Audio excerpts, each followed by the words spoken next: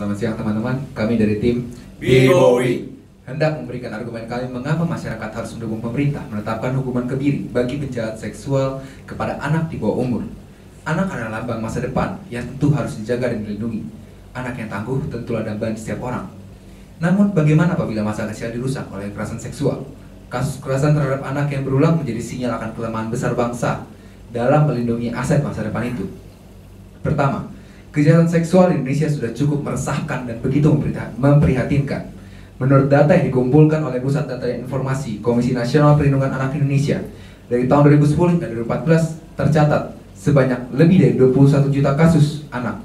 Dari data tersebut, kejahatan seksual terhadap anak sebesar 58% dari pelanggaran hak anak tersebut.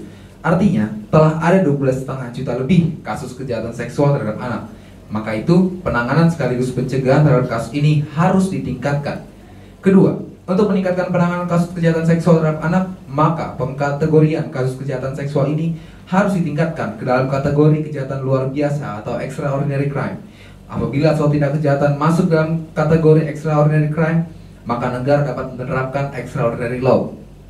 Sebab, kondisi darurat tindak kejahatan yang kian merajalela, menjarah dan mengancam bangsa ini perlu segera mungkin dibinasakan dengan penegakan hukum yang seadil-adilnya, di mana jelas prosedurnya, cepat penanganannya, dan saksi sanksi hukum yang setimpal.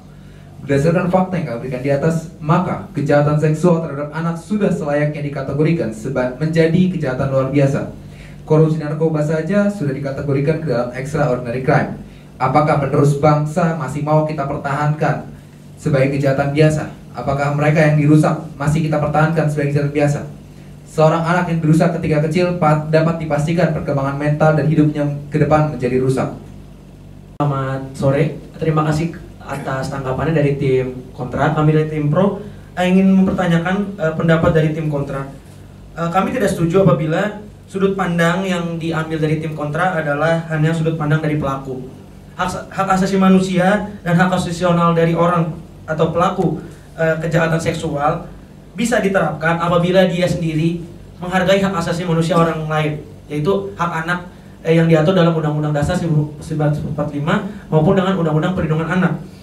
Uh, riset membuktikan di negara Skandinavia menyatakan penerapan kebiri mengurangi tingkat penanggulangan kejahatan seksual oleh pelaku yang sama hingga 35%. Artinya apabila memang pemerintah concern dalam mengurangi uh, kejahatan seksual terhadap anak dan penerus bangsa ini, dengan adanya kebiri ini dapat mengurangi secara signifikan dan telah uh, terbukti di negara-negara Eropa.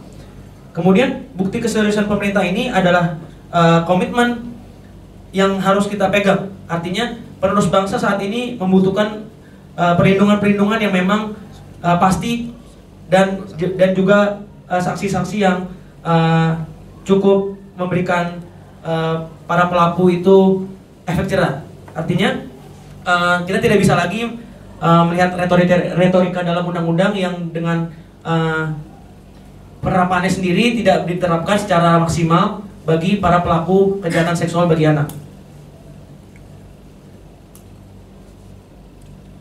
Uh, kalau boleh menambahkan, yang terpenting sebenarnya adalah hukum positif. Jika memang sudah terbukti, maka sudah dapat kita duga dia adalah bersalah, pelaku tersebut adalah bersalah, bukan berdasarkan dugaan-dugaan psikologis belaka. Biarkan itu menjadi tugas tanggung jawab kedokteran untuk menilai psikis pelaku. Kami tetap pada argumen kami bahwa pemerintah harus tetap mengeluarkan peraturan mengenai hukuman kebiri kepada pelaku kejahatan seksual anak sebagai ultimum remedium. Bahwa dalam Undang-Undang Nomor 23 Tahun 2002 menjamin hak untuk hidup uh, dan berkembangnya anak. Tim kontra hanya mementingkan hak asasi manusia dari pelaku saja. Padahal dalam hal ini seharusnya yang dipikirkan adalah hak asasi korban yang direnggut paksa oleh pelaku. Hukuman penjara tidaklah cukup untuk memberikan efek jerah bagi pelaku. Terbukti bahwa pada faktanya kejahatan seksual terhadap anak semakin meningkat meningkat pada tahunnya.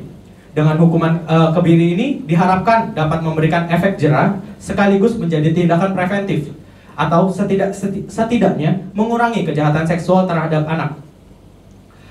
Apakah perbuatan kekerasan seksual terhadap anak dapat disebut sebagai perbuatan seorang manusia? Seorang macan saja tidak pernah memperkosa anaknya sendiri. Sekian dari